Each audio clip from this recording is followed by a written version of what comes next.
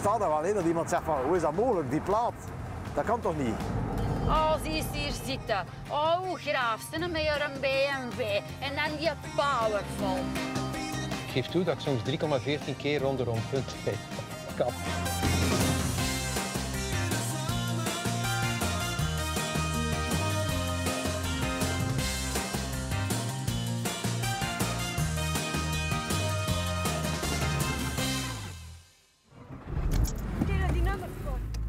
Naar die nummerplaat, uit hoort?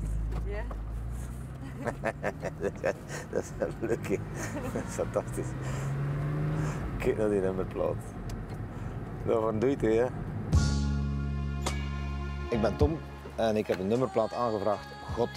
Ik ben psychiater en het gaat alles behalve over God, maar wel het Godconcept. Psychiater Tom Hergots is gespecialiseerd in angsten en werkt al jaren aan een grensverleggende therapie. Zijn nummerplaat was een ideetje van zijn vrouw. Ik werd 50 en mijn vrouw wou iets speciaals doen. We waren toen bezig met een nieuw boek met een heel saaie titel, Fysica van de Angst. En mijn vrouw zei dat is hoe dan ook veel te saai. En het, het concept waar we mee bezig waren was een emotionele therapie.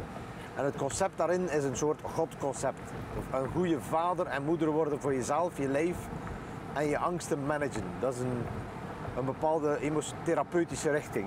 Dus dat godconcept dacht ik, ah oké, ik kan dat in drie letters mooi samenvatten. Drie prachtige letters, heel eenvoudige letters, springen in het hoofd. Voor mij ja, hoe, hoe, hoe meer vanity plate kun je zijn of hoe korter kun je het samenvatten. Het is positieve vanity. Het concept vanity is ijdelheid, maar ja, waarom mag je niet ijdel zijn ook? Waarom mag je niet zijn ik rij met een Porsche en daar trots op zijn? We zien het ook in therapie dat veel mensen dit niet kunnen zeggen. Ik ben het waard om met een Porsche te rijden. Ik ben het waard om met zo'n plak te rijden. Ik ben het waard om mezelf mooi te vinden. Dat is zeer moeilijk, heel moeilijk.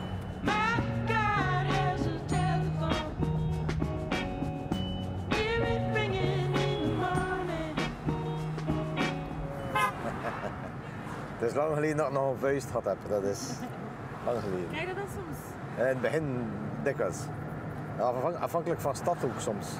Dat was heel raar. In Knokken vinden ze dat allemaal super plezant. Er was een met de, die stopte halverwege de baan. Was een met een gigantische een Lamborghini. En die begon te lachen. Te lachen. En die, die, die kon mij feliciteren. Maar de leukste was eh, heel recent met, eh, op het Besdom. Als ik op de parking van het Besdom mocht staan en de kanunnik naar de bisschop zelf mailde van eh, ik heb God gezien en jij niet. Ja. Dat is echt dat is vooruitgang.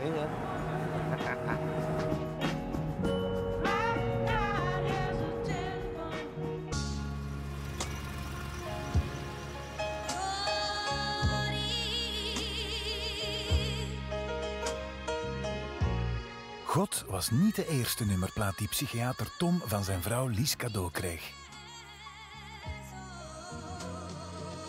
Dus hier is psychiater, omdat de meeste mensen het niet kunnen uitspreken. En ze zeggen dikwijls psychiater. En dan Superman, ja, omdat ik mijn man, ik vind dat mijn man een Superman is, ja. kijk. en sportfreak, in de tijd sportte je, laten we zeggen, een beetje overdreven. Oh, toch heel veel. Hè? Ja, eeuw. Ja, soms tot ergernis, maar zwart. En dan heb ik eh, ja, het woord God eh, tevoorschijn getoverd. God is eigenlijk een samenvatting van zorg goed voor jezelf. Ja. Allee, ja, dat is eigenlijk de essentie ervan. Hè? Hou van jezelf als een kind. Hè. Ja, als mijn dochter zes was en ze vroeg dan haar wat vind je mooi aan jezelf. En alles, hè, mama. Ze is nu 15 en nu zegt ze niks. Dus dat is wel het moeilijkste dat er is. Ja, in de. Opnieuw leren houden van jezelf. Ja. Dat is het concept. Leren houden van jezelf, zoals God het ons voordeed. Dat is het motto van Tom en Lies.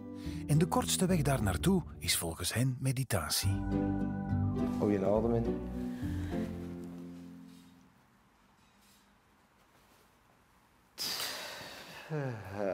Doe dat een paar keer, niet één keer, want dat is allemaal niet weg. En dan een keer ook niet. God verdikken. Hè?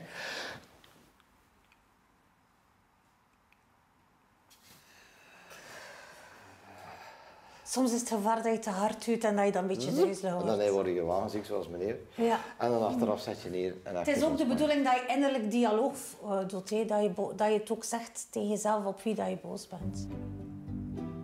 Mediteren is voor mij voelen, ik heb spanning en angst.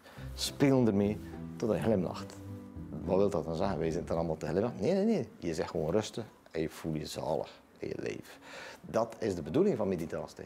Dat je iets doet en dat je zegt, ik zit in oorlog, ik zit in spanning, ik zit in van alles en nog en ik speel met mijn balans. De balans van Christus. Hè? Totdat ik in mijn happiness zit, in mijn speelsheid, in mijn tevredenheid en in mijn relaxedheid. En in.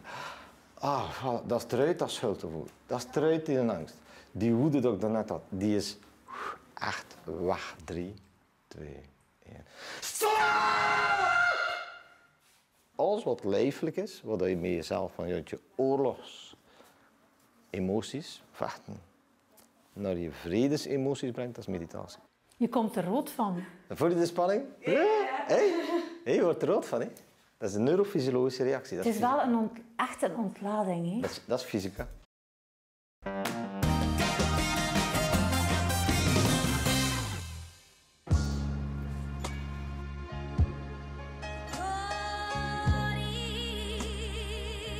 Psychiater Tom houdt vandaag in zijn tuin een groepsessie ontlading.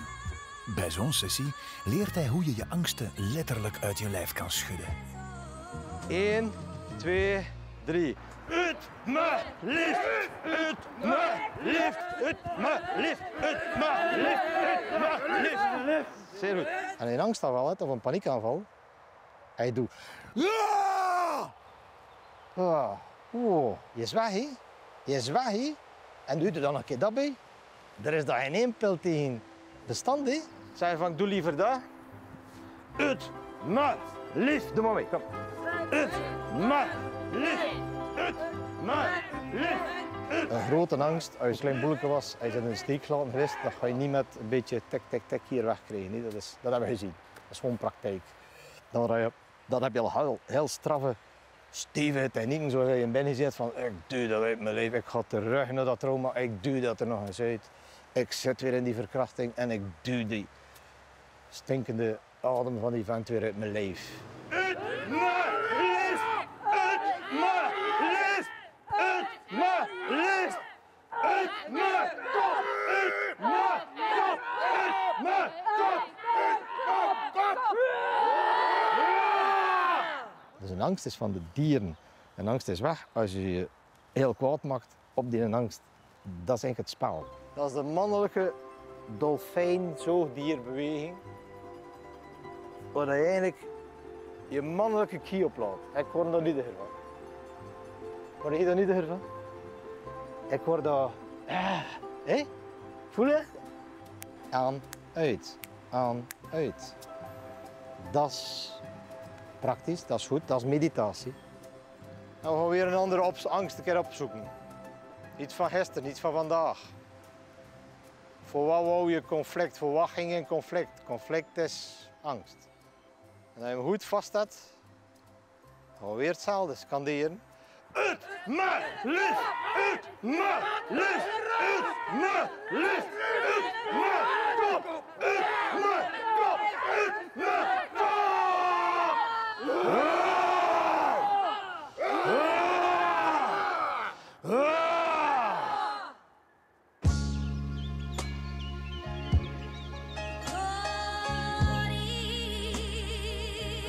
Psychiater Tom eindigt de dag met Kiko, een Japanse discipline die zuurstof geeft aan zijn lichaam en geest.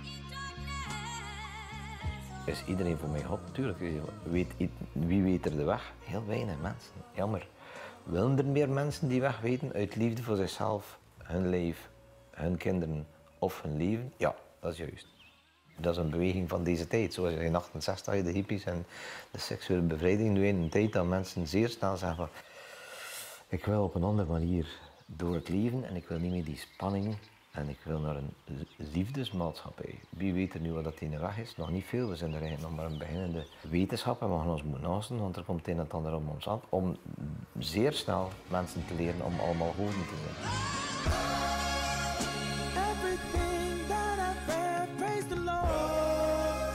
Worship Christ with the best of your portions.